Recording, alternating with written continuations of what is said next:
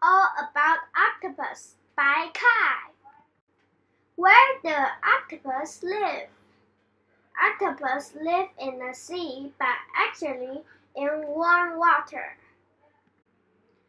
How long can their arms stretch?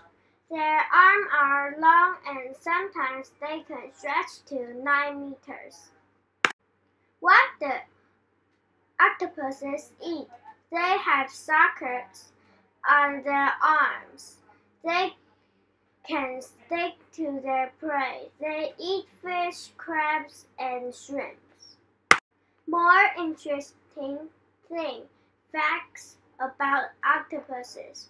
Octopuses don't have bones. They have three hearts, one stomach, and one brain. In their head, they can spray ink when they are scared to confuse the predator.